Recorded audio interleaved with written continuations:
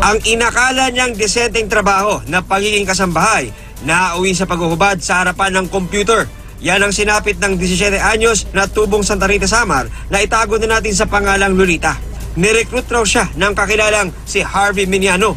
Pero sa halip na gawaing bahay, kahalayan daw ang iniuto sa kanya sa pinasukang bahay sa Hagonoy, Bulacan na nagmistulang cybersex din.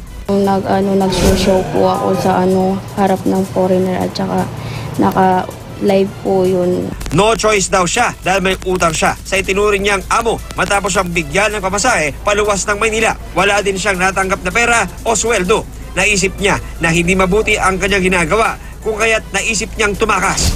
Eh, tumalon po ako sa gate, tas ano, pumunta po ako sa ano, umalis po ako doon, tas lumakad ako nung papunta dito sa ano, may barangay hall. Agad naglugsad ng operasyon ang mga pulis at inaresto sina Miniano, John Castro at Carmen Espiritu. Itinanggi ng mga suspect ang binibintang sa kanila ng biktima. Hindi totoo yun. Gawa-gawa nyo lang yun. Hindi namin alam kung talaga gusto niyang mangyari. Pero kagabi nakausap ko siya, sabi niya gusto lang niyang umuwi. Maharap ang tatlo sa reklamong human trafficking at illegal detention. John Consulta, GMA News.